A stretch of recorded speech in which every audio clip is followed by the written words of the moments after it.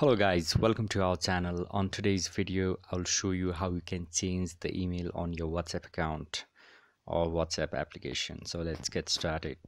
Open your application.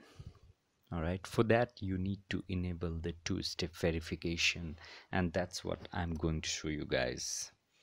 Okay so on the top right tap on the settings then go to the first option which is account. All right so the third one is two-step verification right? All right so i'll just tap on enable and i will enter the default pin. Okay so once you entered your pin now you can you know provide your email address over here. And this one is the third and once you provide your email and it will be changed to your email right?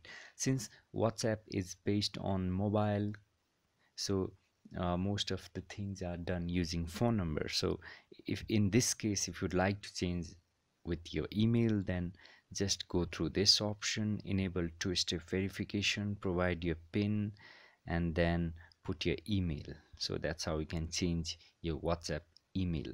Thank you so much for watching